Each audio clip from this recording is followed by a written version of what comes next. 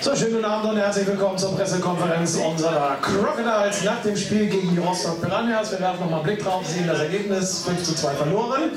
Wir hatten heute Abend 1332 Zuschauer, eine Schussstatistik die folgendes aussagt. Erstes Drittel 16-12 äh, für die Crocodiles, zweites Drittel 15-17 gegen die Crocodiles und letztes Drittel 20 11 für die Crocodiles. Strafen gab es auch reichlich auf beiden Seiten. 27 Minuten gegen Rostock, darunter eine 2 plus 10 Strafe und 10 Minuten gegen die Crocodiles. Wir freuen uns, dass beide Trainer da sind.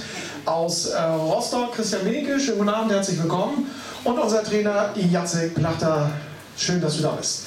Ich fange mal mit unserem Gast an, mit äh, Christian. Herzlichen Glückwunsch zum Sieg. Dein Statement bitte. Schönen guten Abend erstmal. Ja, Statement zum Sieg. Äh, natürlich drei Punkte, wir sind froh. Ähm, wir haben gesehen, im ersten Drittel war es ein sehr gutes Spiel. Ich denke, ein Spiel auf Augenhöhe. Im zweiten Drittel konnten wir die Überzahlen nutzen, haben mehr Druck aufs Tor geschafft und im dritten Drittel ja, waren wir einfach zu unclever und haben die Strafen genommen, haben äh, Hamburg nochmal wieder ins Spiel geholt. Zum Glück hatten wir heute einen starken Torwart, der das rausgeholt hat. Dankeschön. Jacek, äh, dein Statement bitte zum heutigen Spiel. Äh, guten Abend, äh, Gratulation und Christian, äh, vollverdienter Sieg. Ja, in der ersten Drittel haben wir eigentlich ganz gut gespielt. Wir haben viele Chancen kreiert, aber der Torwart war sehr gut. Okay, vielleicht ein oder andere Tor wäre nicht schlecht und dann äh, eine unnötige Strafe in neutrale Zone und dann äh, steht schon 1-0 für, für, für Rostock und dann zweiter Drittel wieder zu viele Strafen und wir haben es gewusst, dass der Powerplay ist gut.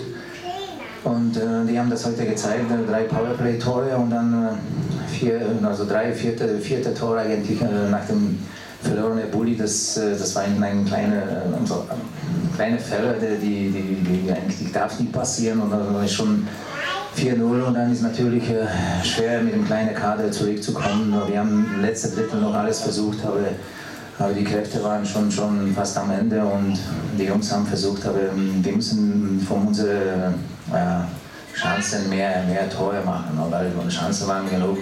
Wir waren so ein bisschen weniger hungrig, um ein Tor zu schießen, weil die, die Scheibe war dort ein äh, paar Mal vor dem, vor dem gegnerischen Tor, aber ja, heute die, die Scheibenblick war nicht auf unserer Seite. Danke.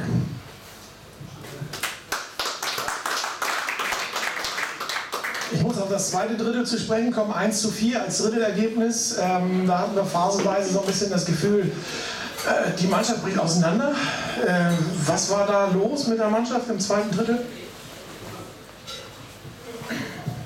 Ja, bricht halt auseinander, will ich nicht sagen, aber es ist natürlich ganz schwer, wenn man wenn man äh, die gleichen Leute in Unterzahl, gleiche Leute in, in, in Überzahl und 5 gegen 5, dann, dann lassen die Kräfte vielleicht ein bisschen nach und dann äh, dann, dann, kommen die Fälle fast, fast automatisch. Wir waren einen Schritt zu spät, wir waren also mental vielleicht danach nicht so hundertprozentig. Ja. Das, ist, das, ist, das ist ganz normal. Ja. Wir, haben, wir haben alles versucht, natürlich. Äh, waren ein paar unnötige Fälle, da so ein bisschen Konzentration, das, das muss man ein bisschen mehr konzentriert sein, aber das ist, das ist schwer zu sagen, wenn, wenn eine oder andere spielt über 40 Minuten äh, spielt aber nur 60, also dann ist schon, schon irgendwann die Konzentration lässt nach und dann äh, Rostock hat das sehr, sehr gut ausgenutzt. Christian, ich muss bei dir nochmal kurz auf das letzte Drittel zu sprechen kommen. Es war äh, für dich als Trainer natürlich irgendwie äh, strafenreich. Äh, wie erklärst du dir, ihr führt 5 zu 1 und ähm, immer wieder irgendwie halten, ähm, Haken etc. pp. Habt ihr doch, wenn, wenn du so weit vorne liest mit der Mannschaft, ist das eigentlich gar nicht nötig, oder? Ja, nötig hat man es nicht. Das Problem ist wahrscheinlich, dass die Jungs dann äh, schon im Kopf das Spiel abgehakt haben und halt nicht mehr den Schritt gemacht haben, den sie im zweiten Drittel gemacht haben und dadurch hinterhergelaufen sind. Und dann kommen halt leider diese Strafen wie Haken, Beinstellen zu, zustande. Wie gesagt, wir haben äh, Glück gehabt, dass wir einen guten Torwart hatten, der hat heute einen, einen Sahnetag. Und wir können uns bei denen bedanken, dass die drei Punkte bei uns geblieben sind. Wie geht es bei euch jetzt weiter äh, unter der Woche? Ich meine, es neigt sich ja auch langsam dass, äh, die Hauptrunde gegen Ende, gegen den, die Hauptrunde zu Ende.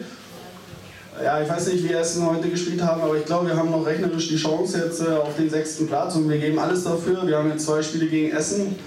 Wir versuchen äh, sechs Punkte zu holen und dann werden wir schauen, was passiert. Die Frage kann ich dir beantworten. Essen hat gewonnen in Erfurt, allerdings äh, erst nach Penalty. Schießen mit 5 zu 4, hat also einen Punkt liegen lassen. Ja, dann wünschen, drücken wir euch die Daumen. Schön, dass ihr da gewesen seid. Angenehme Heimreise für euch und äh, ja, ähm, euch am Mittwoch in Duisburg. Toi, toi, toi, alles Gute. Ich habe noch Ergebnisse aus den anderen Eisstadien. Tilburg schlägt die Indians mit 6 zu 1. Erfurt, Essen, sagte ich gerade schon, 4 zu 5 nach Penaltyschießen und Leipzig gegen Braunlage nach dem zweiten Drittel 1 zu 2.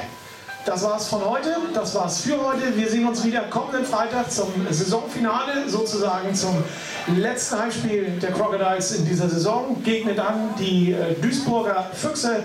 Los geht's hier um 20 Uhr. Ich freue mich, wir freuen uns auf äh, Sie, auf euch und wir sehen uns dann kommenden Freitag. Alles Gute, schönen Dank, schönen Restsonntag und ab nach Hause. Tschüss.